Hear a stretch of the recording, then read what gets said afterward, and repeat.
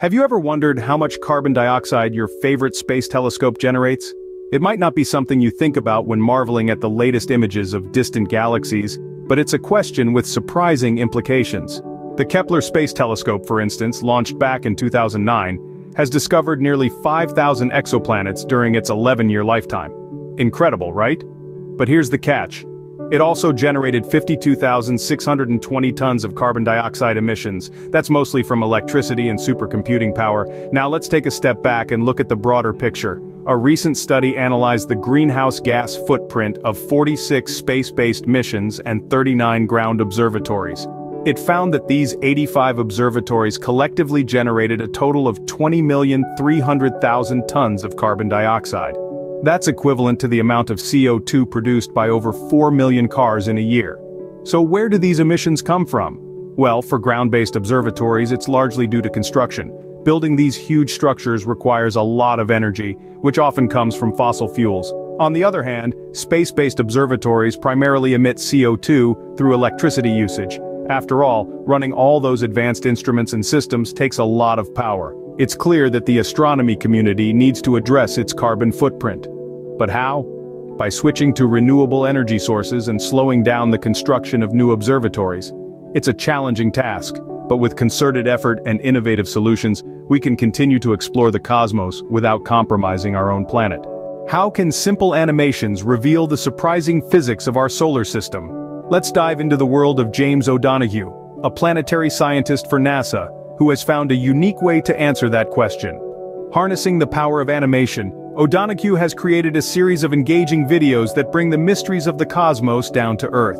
One of his first animations took viewers on a journey to Saturn, visualizing how the planet's iconic rings would look as they slowly fell away over time. This animation didn't just spark curiosity, it caught the attention of the New York Times, catapulting O'Donoghue's work into the limelight. But Saturn's rings were just the beginning. O'Donoghue soon found himself creating a video comparing the spin of each planet, a seemingly simple concept that hides complex physics. This video quickly gained traction, amassing 1.6 million views in just a few days. O'Donoghue's animations have since grown in number and scope, covering topics as diverse as the speed of light in space, the formation and movement of the moon, and the rotation of celestial bodies in our solar system. Each one is a masterclass in scientific communication, breaking down complex concepts into digestible, visually engaging snippets of knowledge.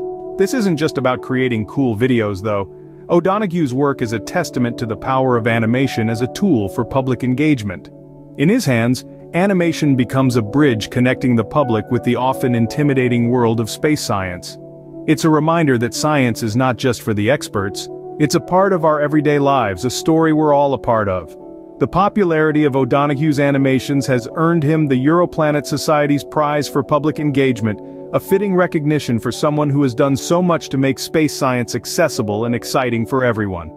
O'Donoghue's animations remind us that sometimes the best way to understand the universe is to visualize it.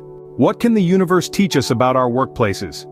In the vast expanse of the cosmos, stars follow a predictable path of birth, life and eventual death, each stage marked by unique characteristics and behaviors.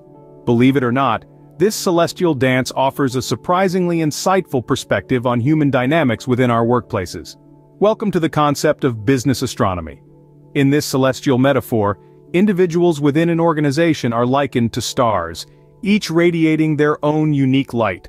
But just like stars, employees too can follow different paths. Some are shooting stars, individuals who, feeling undervalued or unfulfilled, decide to leave their current roles in search of new horizons.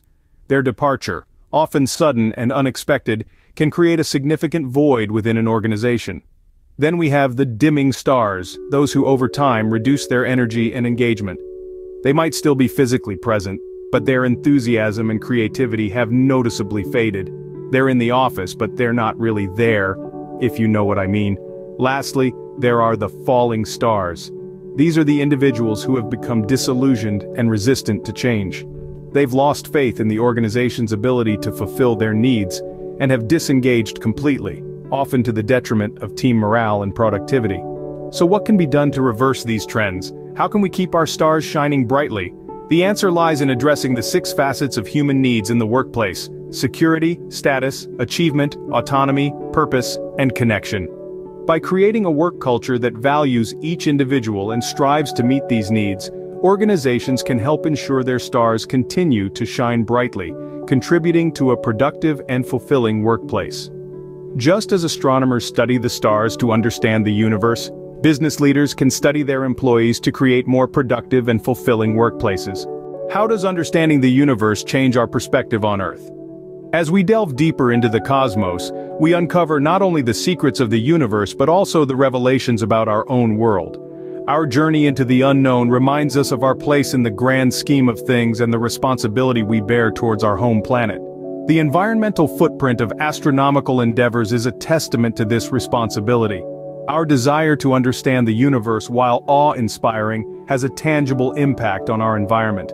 The carbon emissions from our space missions and ground observatories are a stark reminder that every action, even the pursuit of knowledge, has a consequence.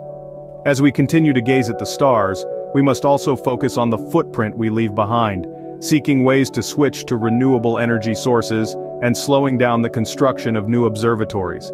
Beyond the environmental impact, our exploration of the universe has also shed light on the power of visualization. The universe in all its grandeur often escapes the confines of words and numbers. This is where the power of animation steps in, making the complex mechanics of the cosmos accessible and engaging. It's through these simple yet powerful animations that we can grasp the rotation of celestial bodies, the speed of light in space, and the intricate dance of Saturn's rings. Our journey through the cosmos also offers a unique perspective on our own workplaces. The concept of business astronomy draws parallels between the universe and our professional lives. Just as stars in the cosmos, employees can be shooting stars seeking new horizons, dimming stars reducing energy and engagement, or falling stars becoming disillusioned and resistant to change. This understanding can help us create workplaces that meet all facets of human needs, fostering environments where everyone can strive and thrive. As we continue to explore the universe we must remember that our actions here on Earth have far-reaching impacts.